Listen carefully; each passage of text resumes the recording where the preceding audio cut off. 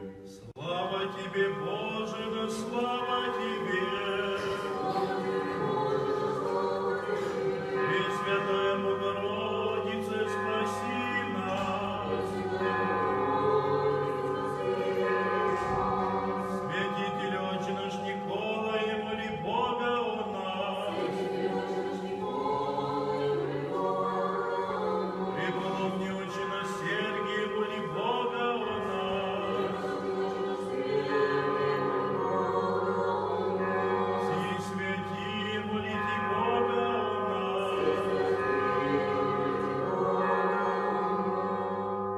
Во имя Отца и Сына и Святого Духа.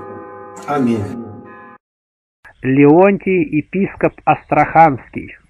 Расстрел астраханского духовенства во главе с епископом Леонтием относится ко временам гражданской войны. Астрахань была переполнена больными и ранеными красноармейцами. Людей косил сыпняк. Епископ Леонтий созвал совещание представителей всех городских и пригородных приходов. Решено было обратиться к православному населению с призывом оказать помощь раненым и больным воинам и старой, и советской армии. Воззвание окончилось ссылкой на Евангелие. «Помните слова Христа.